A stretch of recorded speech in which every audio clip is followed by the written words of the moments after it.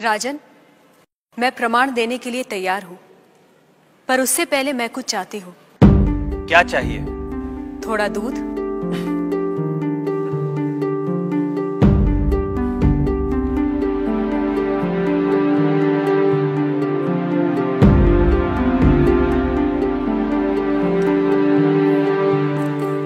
राजन इस पात्र में आपको क्या दिखाई दे रहा है? दूध? क्या दूध के अलावा कुछ और दिखाई दे रहा है? नहीं। पर मुझे तो मक्खन भी दिखाई दे रहा है। क्या आपको मक्खन दिखाई दे रहा है?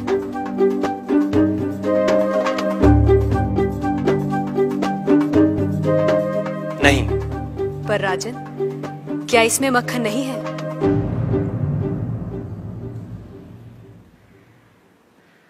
है। जैसे दूध के कण कण में मक्खन है। मक्खन के कण कण में घी है। वैसे ही ईश्वर सृष्टि के कण कण में भिन्न भिन्न रूपों में है। जो है, पर दिखाई नहीं देता। जैसे दूध से मक्खन पाने के लिए उसे मथना ज़रूरी है, उसी तरह वेदांत के श्रवण, वेदांत का मनन और उसके निहितार्थ पर निरंतर ध्यान के द्वारा ही ईश्वर का अनुभव किया जा सकता है। राजन? क्या आपके पहले प्रश्न का उत्तर आपको मिल गया? मैं मान लेता हूँ। पर वो किसे देख रहा है? किस ओर देख रहा है? क्या मुझे एक जलती हुई मोमबत्ती मिल सकती है? राजन ये रहा आपके दूसरे प्रश्न का उत्तर। प्रकाश की ये लौ कहाँ देख रही है? किसे देख रही है? ये सभी को देख रही है। सभी और देख रही है? राजन, जिस तरह इस मोमबत्ती का प्रकाश चारों ओर फैला हुआ है, उसी तरह ईश्वर की चेतना चारों ओर फैली हुई है। और उसी चेतना के कारण हम चलते हैं, बोलते हैं और सुनते हैं। जैसे ये प्रकाश सभी ओर देख रहा है, वैसे ही ईश्वर सभी ओर देख रहा है।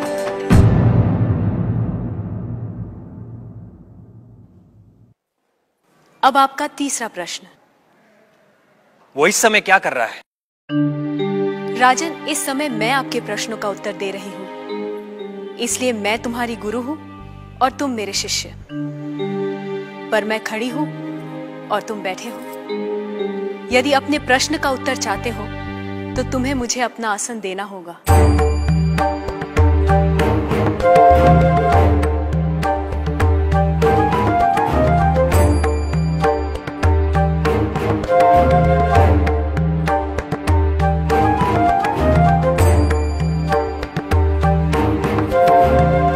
राजन, ये रहा तुम्हारे तीसरे प्रश्न का उत्तर।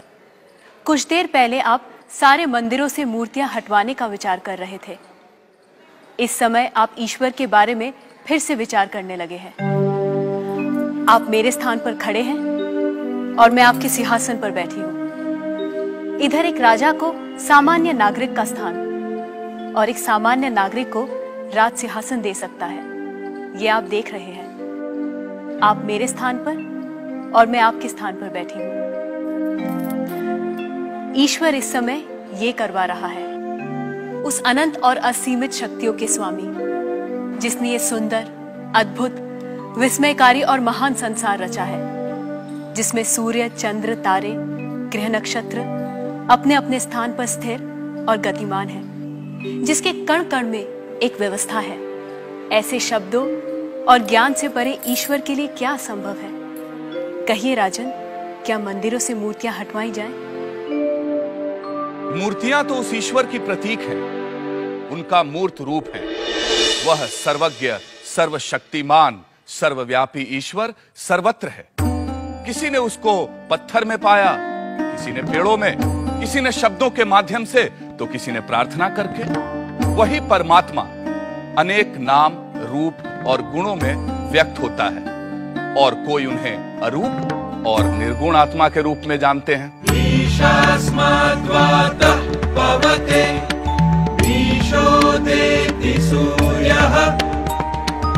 ईशास्मादग्निश्चेन्द्रश्च मृत्युर्धावति